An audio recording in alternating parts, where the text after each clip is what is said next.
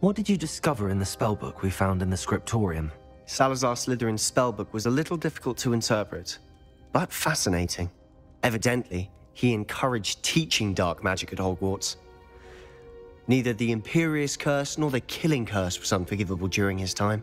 He believed students should be prepared to use dark magic when necessary, not to fear it. That's why we had to use Crucio to gain access to the scriptorium. He didn't want his knowledge shared with anyone who was afraid of the power of dark magic. I know we had to do it to open the scriptorium, but it's not something I'd want to repeat. And I'm glad we did it, because in the spellbook I also found something else. References to a lost relic, which, from what I can tell, grants the holder the power to reverse dark magic curses. And you think this relic might be able to save Anne? Precisely. I plan to search for this relic, but I don't think we should tell anyone. Especially Ominis. He wouldn't understand. I see no reason to involve Ominis. I'm glad you agree. When I know more, I shall send an owl. And don't feel sorry for Ominis. Keeping this to ourselves for now is for his own good. I'll decide what's for my own good. Ominis, we were just about to get some air. Care to join? You're a liar, Sebastian. I heard everything. You swore you'd never engage in anything to do with dark magic again. No, I didn't. I said I understood you wanting that. I'd never swear to give up on finding a cure for Anne. You don't know when to stop, do you? I know when not to stop. Leave this alone, Ominis. I'll be on my way.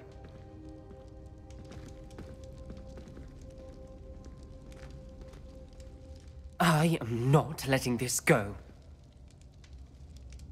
Ominis, Sebastian Manuel. I know what I heard.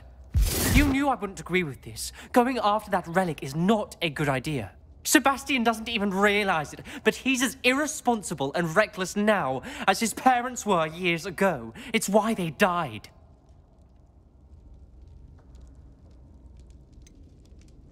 I knew his parents died, but I never heard what happened. Mr. and Mrs. Sallow were professors. Spent nearly every waking moment in the cellar library. Noses buried in books. Anne and Sebastian were upstairs when it happened. They heard a sudden crash and ran downstairs, but it was too late. Their parents had crumpled to the floor. A defect with the lamp in the cellar caused the room to fill with an undetectable toxin. Sebastian and Anne were helpless. They had no magic yet. What a horrible story. It is. That's why I can't understand Sebastian's recklessness. I've practically lost Anne. I cannot lose Sebastian too. Please avoid anything to do with that spellbook.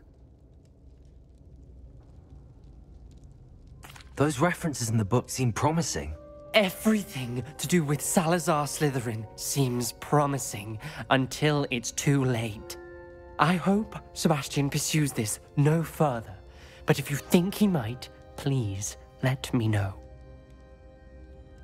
It would mean a lot.